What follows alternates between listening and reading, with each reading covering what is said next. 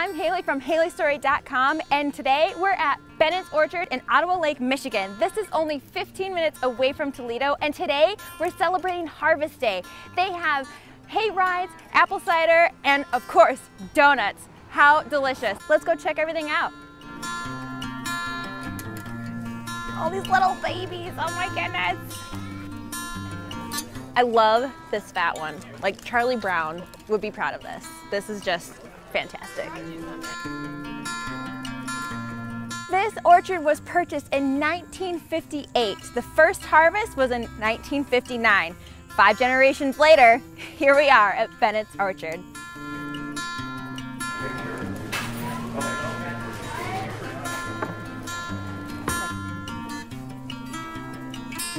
I feel like I look like an apple.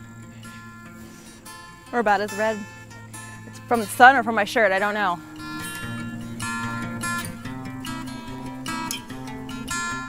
This is gonna taste good.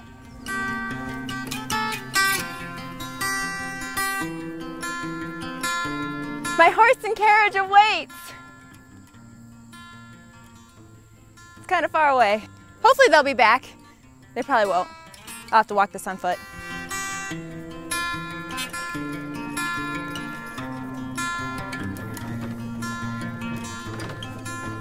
Not only does Bennett's Orchard harvest their own apples, but they produce hard cider right here. Let's go take a taste inside.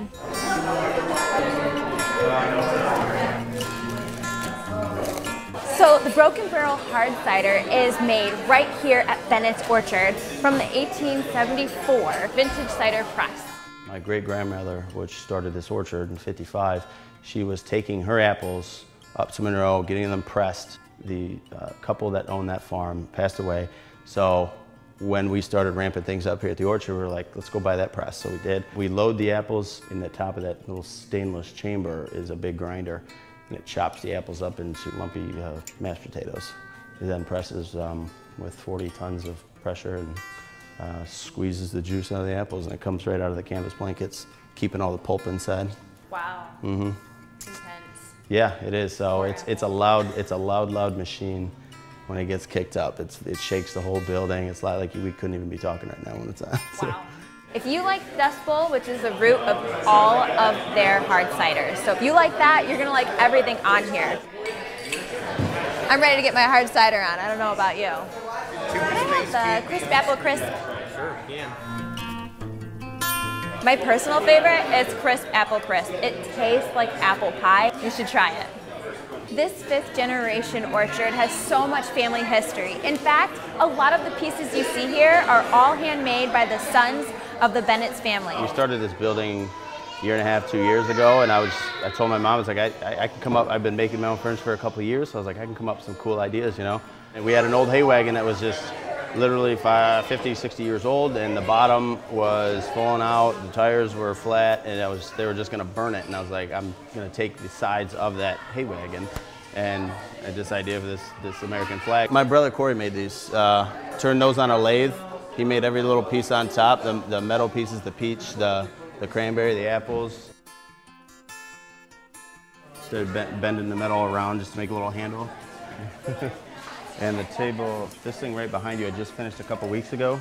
Again, I had some really, really big timbers actually sitting out back uh, in the orchard.